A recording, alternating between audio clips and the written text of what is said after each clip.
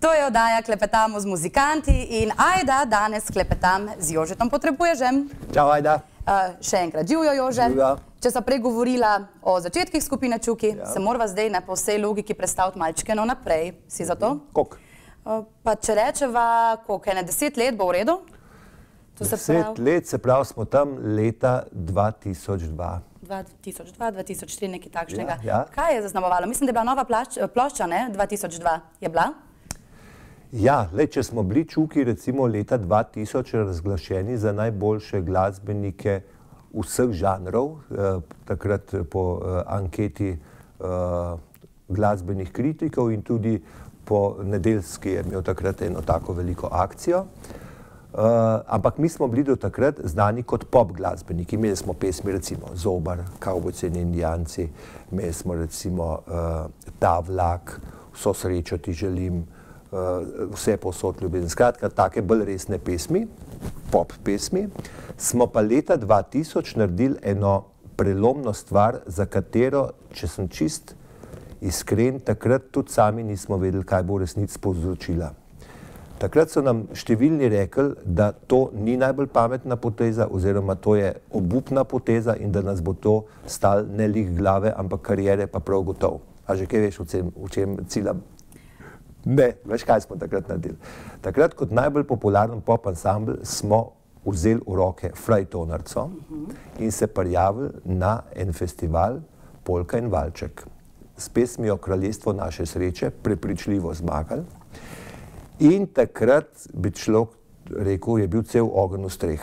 Namreč, kako se lahko en pop izvajalec odloči, popularen pop izvajalec odloči, da gre zastaviti svojo glasbo na kariero za narodno zabavno glasbo, ti se verjetno tega ne spomniš, ampak takrat ni bila lih najbolj v razcvetu. Takrat ni bilo navada, da tle, ker sem zdaj k tebi v studio prišel, da je tam le en 12 let, ali koliko je on, ta elefant, 17, 17, kako ja. mu je ime?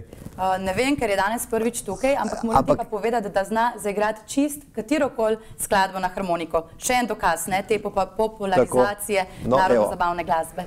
No, danes to, recimo, fantje in punce delajo z največjim veseljem, z največjim užitkom, takrat to ni bilo tako, a veš. Recimo, da bi takrat rekel enemu smrkovcu, da ti na maturanskem plesu uh, zašpili v dolini Tihi ali pa harmoniko s sabo, se bi ga nabil, če ga že ne bi izobčila, veš. To je, tako je bilo. Danes uh, je stvar, hvala Bogu, čist drugačna. Danes je v Sloveniji veliko glasbenih zvrsti, ampak vodilna oziroma uh, svoje mesto je spet dobila narodno zabavna muska. Uh, Marsikaj, ali pa bom rekel, kar nekaj smo k temu pripomogli tudi čuki, mogoče tudi uh, oddaja, ki sem se jo potem lotil, uh, raketa pod kozovcem oziroma na zdravje. Skratka, slovenska narodna zabavna glasba je, uh, je na mestu, ki se v Sloveniji zasluži. Zdaj pa čuki smo seveda še vedno čuki, mi nismo zdaj narodno zabavna, samo mi smo to, kar smo bili. Malo smo to, malo smo uno, pač hvala Bogu nam uh, to poslušalci dopuščajo, da se lahko, uh, da lahko skačemo iz enega sloga v drug, drugače pa poplava narodno zabavnih glasbenikov je pa v Sloveniji neverjetna in to, Kvalitetnih tudi, a ne? mislim, predvsem kvalitetnih. Ja. In če bi si takrat leta 2000 v najboljših sanjah želel, takrat, ko smo imeli eno vizijo, da se more te stvari popraviti, da bi rekel, da bo pa to tako, nikoli ne bi tega verjel.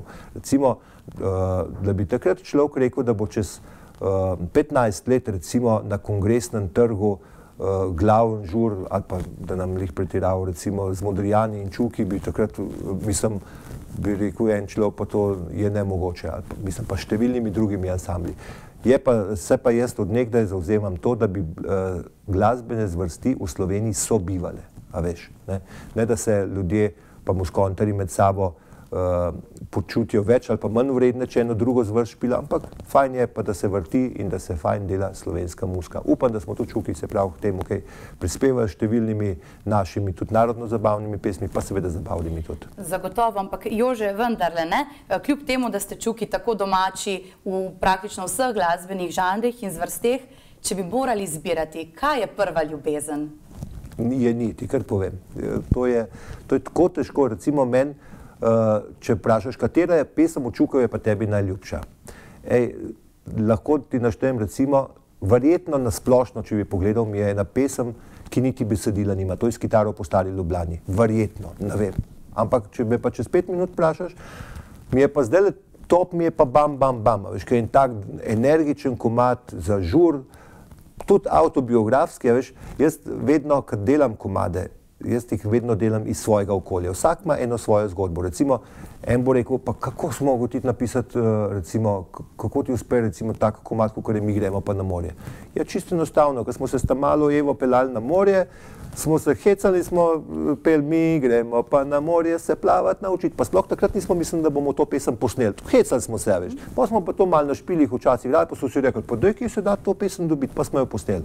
Potem, recimo, čez uh, zdaj, recimo imam pa jaz ta veliko hčerko, Petro, staro 16 let, pazi, veš, je pa že drugačen tekst. Recimo ta nov komat pa že govori, uh, ti zvečer gre zgodaj spat, oče tvoje strok imate rad. Seveda sem jaz ta oče, ne? A veš, stvari se pač spreminjajo in tak, uh, tak uh, življenje, ki imamo, je taka je tudi naša muzika. Potem lahko kmalo pričakujemo uh, tudi kakšno pesem o prvem fantu, ne, pa tako naprej. Uh, štorklje, štorklje vaše so recimo uh, potem kar dosti blizu ja. temu, ne, kar mogoče sledi v prihajajočih se letih, pa nič te nočem strašiti. Ne, pa, pa, imaš prav, štorklje ima no, zelo, zelo simpatično frazo in sicer, uh, ker ata te sekira Tako. in mama te nadzira, skrbijo, kdaj bo njuna hčerka doma, da štorklje nad kmetijo prek malu ne vzletijo ja. iz gnezda, kjer se včasih dobiva.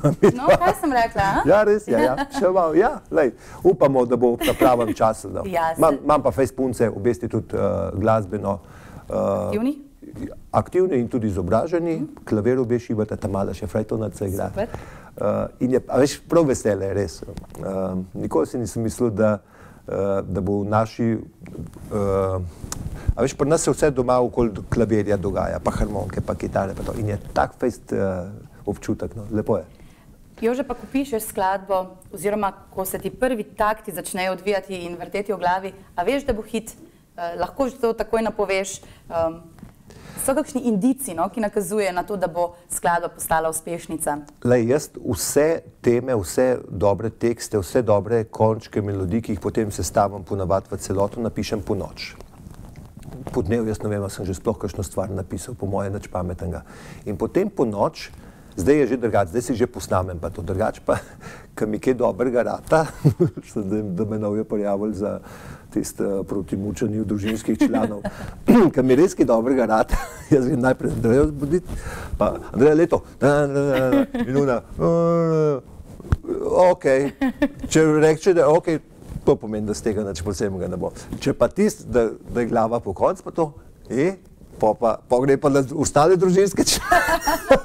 In pole, če ta, um, če ta entuzijazem zdrži do jutra, da tudi zjutraj, ko se zbudim, če grem sploh kaj spat, če je ta, tista, veš, kad te neki zažgačka v šesih, ja. veš, to je tako, kot ena punca, veš, sej, en, vsak mu ni všeč, ampak tebi se zdi pa tisto, pa, pa, pa tukaj ima to, pa uno, pa, pa tako, veš, in lahko ti rečem, da sem z leti že ob, uh, res ta občutek, a bo neki hit ali ne razvil. Se lahko pa čist mem brcneš. Je pa tudi res, da velik slovenskih glasbenikov, ki naredijo kakšen komat, pa niso čist sigurni, a je ali ni, mene pokličejo, da res, pa, pa se ne hvalim s tem, ampak pa mi ni, je to v bistvu nehvaležna vloga, ker velikrat moram reči, joj, se je fajn, da to verjamete v ta komat, ampak neki ni.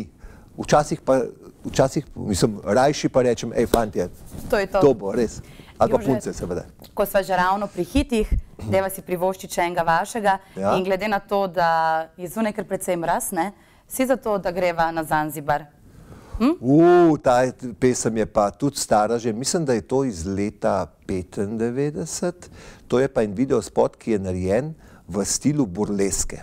In sicer je to en uh, najdražjih spotov, po mojem, zgodovini slovenskega naroda, sin, ampak nič hudega. Uh, Andres Valdes noter nastopa, Marko je celo v črnca oblečen, ne, ne um, namazan, ne samo oblečen. Uh, spot, ki ga vedno znova rad pogledam. Ja. Super, pa ga pa deva, ne? Deva. Tudi vi veseljaki uživajte in kmalo bodite spet v naši družbi.